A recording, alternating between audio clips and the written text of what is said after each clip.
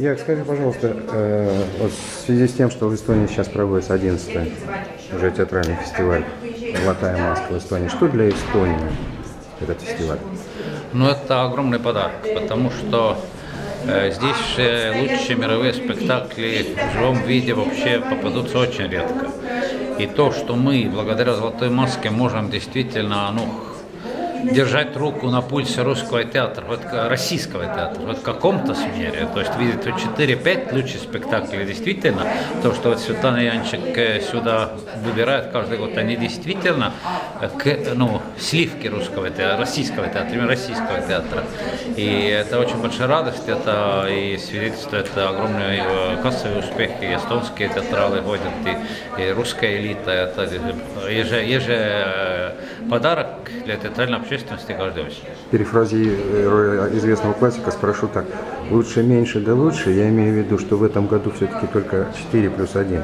Четыре, ну, ну, всегда где-то не более шести не было, плюс половину четыре больших и где-то один-два маленьких. Так что же все-таки лучше? Четыре, ну, таких мощных спектаклей? Ну, всегда были хорошие. То есть э, всегда же был принцип отбора, они должны были номинировать, номиниру, номинируемые на «Золотую маску». А в этом году даже так, что два, которых мы видели здесь, спектакль Бутусова на основе э, пьесы Тургенева «Месть в деревне» и спектакль Крымова «Ой, поздняя любовь», они будут, видимо, номинированы на, на следующий год. Они столь свежие, но все уверены, что они будут номинированы. А два лауреата – это Евгений Онегин и Чаплин.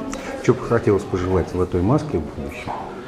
Ну, хотел, я знаю, что э, вокруг «Золотой маски» в России есть буря там меняли экспертные советы, там были э, такие ну, обвинения, что это не отражает как бы полную картину, и может там вас искажают, и уже Кирилл Серебренников что-то делал первого, первого надрыва, там заявление, что не хочет больше участвовать, поскольку эксперты такие, которым он не доверяет.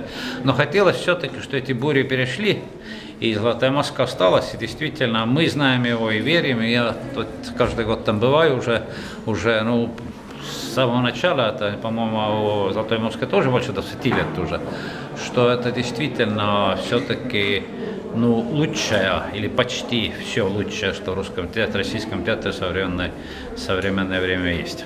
Так что хотелось, что ничего там не менялось, и, и они нашли бы деньги, мы нашли бы деньги, что каждый год э, сюда вести эти спектакли. Спасибо большое. Большое.